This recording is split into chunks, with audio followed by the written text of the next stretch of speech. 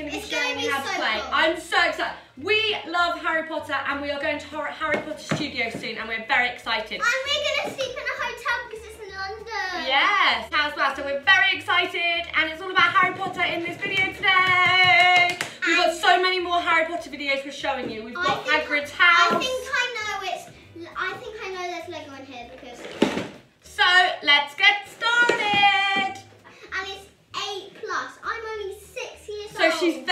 Excited because it says 8 plus on it and it is 4 and she's only 6. I'm not four. Learning.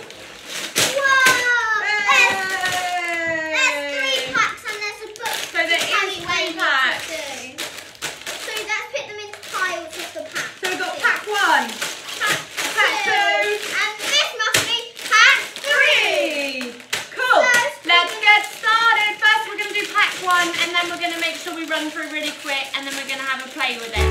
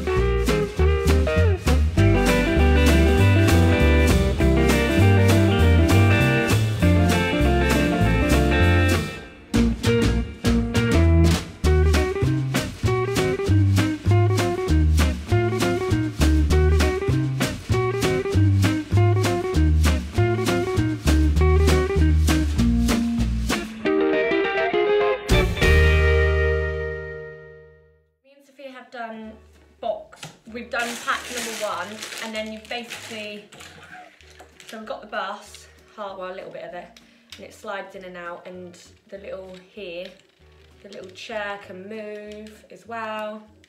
There's a little person there, and there's a little steering wheel, and there's a little gear stick. So yeah, really, really cute.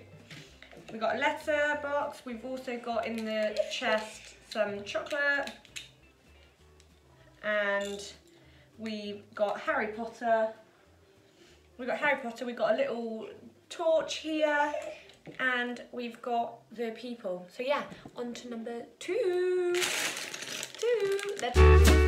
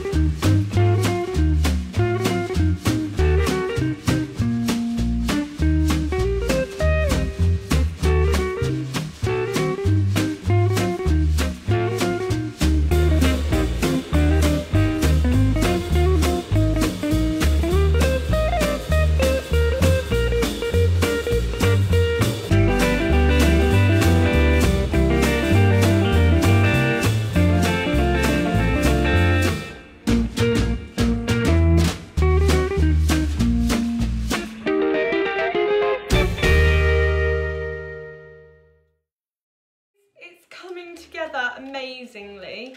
Look, I actually love it. Um, Sophia's um, gone to her dad, so I'm decided to do a bit more and then take it down so we can do it again together. But oh my gosh, the light is so cool. Literally, the chair to sit down moves. It's amazing. So we're on pack number three and then we'll be done. So let's see how it gets on.